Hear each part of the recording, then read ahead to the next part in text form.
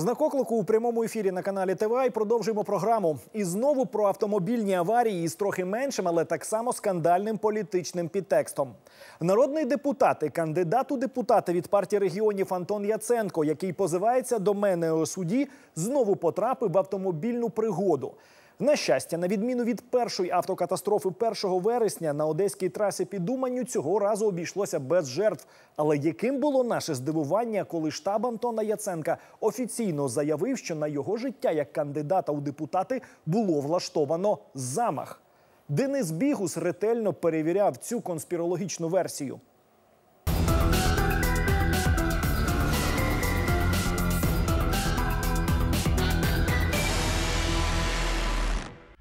Заправка. Умань. Мерседес. Яценко. Повернення. Не хотіли, чесно, але доводиться.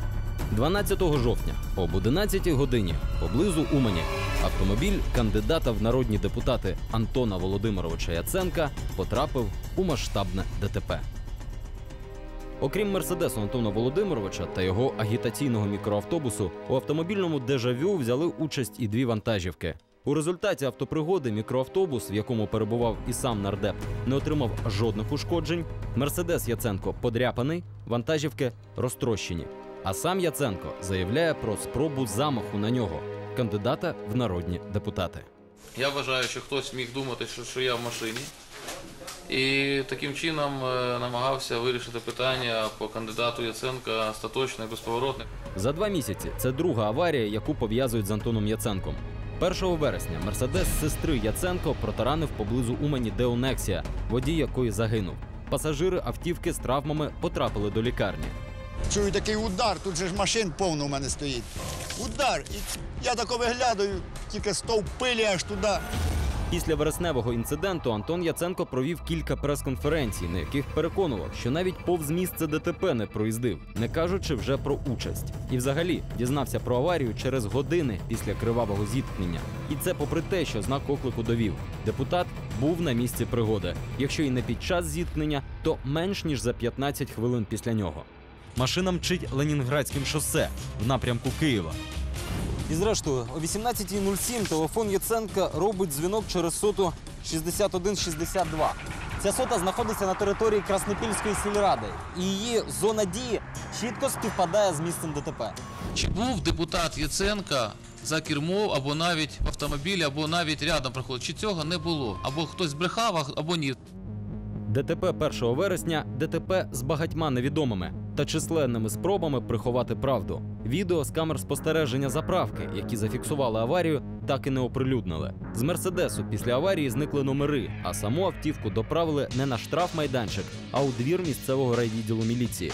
Натомість депутат Яценко за попередню версію про його пряму причетність судиться із ведучим знаку оклику Артемом Шевченко. Тож цього разу ми повністю та цілковито підтримуємо Антона Яценка та його попередню версію про замах на його кандидатське життя. Для цього є всі підстави. Для цього є беззаперечний доказ, запис камери відеоспостереження заправки, яка зафіксувала цю подію. Отож, 12 жовтня, о пів на 12 дня. Траса Вінниця Кіровоград. Кандидат у народні депутати їде на зустріч з виборцями. Їде скромно на агітаційному мікроавтобусі. Їде і не знає, що його власний працівник, водій мікроавтобусу, імовірно, вже замислив страшний злочин.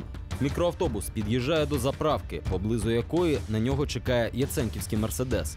Він закритий рекламним щитом. В цей момент, провівши розрахунки, водій агітавтобусу Яценка втілює в життя свій жахливий план. Перед вантажівкою, яка рухається за мікроавтобусом, він без жодних попереджень різко тисне на гальма. Якщо ви думаєте, що це створення аварійної ситуації через прохання Антона Яценка зупинитись біля його мерседесу, забудьте. Йдеться про спробу вбивства. І жодних випадковостей тут бути не може. Водій вантажівки, ймовірно, поплічник яценківського водія, вилітає на зустрічну смугу. Звісно, не через те, що не хоче розчавити народного депутата. Він просто розуміє, все має виглядати ніби звичайна аварія. План полягає у тому, що його вантажівка на зустрічній смузі вріжеться у завантажений КАМАЗ. Після цього зіткнення ймовірний зловмисник потрапить у лікарню з численними переломами. Але мету майже досягнуто. Ударом багатотонного КАМАЗу вантажівку відкине назад, і кузовом вона подряпає Яценківський мерседес. Я їхав і, і в'їхав у мене. КАМАЗ це серйозно. КАМАЗ це серйозно. Адже на сьогодні кандидат Яценко щиро запевняє, його не було на місці аварії, і тим паче вона не була спровокована раптовою зупинкою мікроавтобуса. Він просто зупинився біля мерседесу, забрав папери і поїхав. А все трапилось потім. Заїхав в бус, він забрав папери і поїхав далі. Після цього хтось вважав, на мою думку, що депутат є в машині, бо вони могли думати, що я пересів до машини. Таке буває, коли, я, наприклад, їду по трасі, ну і терміново треба доїхати там. То і було вирішено питання в'їхати, на мою думку, в цю, стоячу машину. Бус паркувався і Ні, не було цього. Не було цього. перевірити цю інформацію. Перевірте, будь ласка. Інформація перевірена. До правоохоронних органів. Тоді Перевірена бажана інформація. офіційна інформація, якщо ви Бус якщо забрав ви папери і оприлюдните поїхав. Ми впевнені, що Антон Яценко не може просто брехати щодо цього інциденту. Тож висновок лише один: навколо кандидата сплетена мережа висококваліфікованих інтриганів, майстрів схем, вбивць. Антон Яценко заявив, що обов'язково звернеться до правоохоронних органів з проханням провести ретельне розслідування. Знак оклику приєднується до цього прохання. Ми впевнені, що начальнику МВС України у Черкаській області Валерій Дерновий залюбки видасть Антону Яценко відповідну довідку навіть у неділю.